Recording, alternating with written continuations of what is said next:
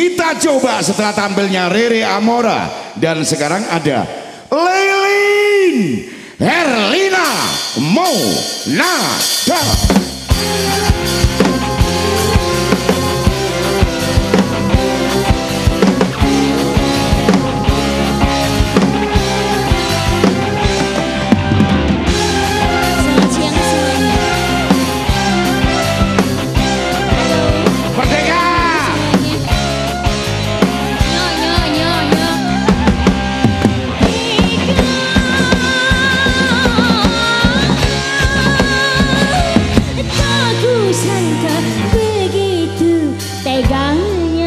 hatimu.